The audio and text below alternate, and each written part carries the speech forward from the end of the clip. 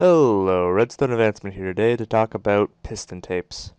Piston tapes are redstone devices that are useful when you have a series of different redstone signals that you want one after the other. Um, these three devices here are three different kinds of piston tapes. There are many, many kinds of piston tapes. This is only uh, three different sizes. I'll just demonstrate uh, what it looks like. So I press, I activate it, and now that wire's lit up. Now that's lit up. Uh, those two, that one, and so on and so forth. The way it works is that you have a series of blocks going around a uh, a loop with four sets of pistons, and you have a part in the middle here where you have power going into the four or however many, not doesn't need to be four. But anyways, the blocks in a line, and if the block is made of glass, the power doesn't go through. And if it is made of something like wool or a sol any kind of solid block, and the glass can be any kind of transparent block, um, the signal will go through. And so you can use this to get a series of different uh, states. Um, this one is one, three, four, five, six, seven, eight, nine. So that this is a nine by uh, or eight. There's 18 different combinations possible in something like this. Uh, I have a smaller one here which has 10 different possibilities. Oops, fell down. Fell down again. And so works just the same except it's bit smaller and has less uh, less available spaces. So you see that one had 18 and this one has 10.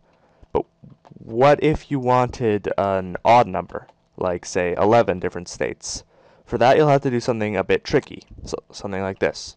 This one, as you would uh, be able to see, would be has 22 different uh, states in it.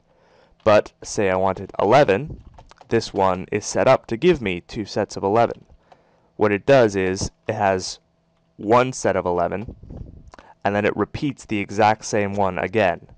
So that lets it have an odd number of different states, but uh, it works with this kind of setup. It's, uh, it's a cool idea.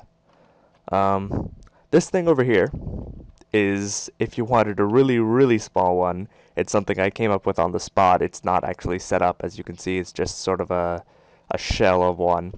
It uh, relies on the fact that a torch underneath a glass block does not depower, like unpower the torch on top of it. And if you want to put in the work to extract the data from here, then there you go. You have to be a bit careful if you uh, want to do it though, because you can't have a block on top of there, because that just messes with uh, this piston, and you can't extract it this way, because messes with the other piston, and as you can see it just screws the whole thing up.